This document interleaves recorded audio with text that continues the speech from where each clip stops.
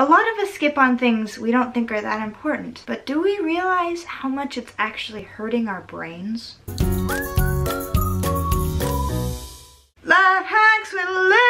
Hey y'all, it's Olivia Stone. It's April 4th of 2018 and it's time to know what today's life hack is. Here are the top 10 biggest brain damaging habits you can do according to the World Health Organization. Number one, not eating breakfast. Number two, overeating. Number three, smoking. Number four, consuming an incredibly high amount of sugar. Number five, air pollution. Number six, depriving yourself of sleep. Number seven, covering your head while you're sleeping. Number eight, trying to work your brain while you're sick. Number nine, not stimulating your thoughts. And number 10, not talking enough. I definitely knew that not sleeping is very bad for you. Let me know in the comment section below if you guys didn't know about some of these things that could actually hurt your brain. And if you didn't, which ones were they?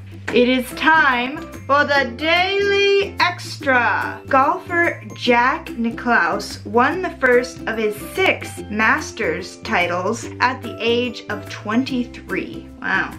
It's impressive. He was only a year older than me and he had his goals together. Good for Jack! So that is it for today. If you like having a healthy brain and you like this video, please give it a thumbs up. And if you want to become part of the Watered Down tribe, just go down below, punch that red subscribe button and jingle that bell so you'll be notified every Monday through Saturday of 2018 when I post. Please check out my social medias and I will see you on the flip side. I love you so much. Bye. I feel like this is too bright. That light was a little too bright. Mm -mm. I almost said March, but I didn't. I'm so proud of myself.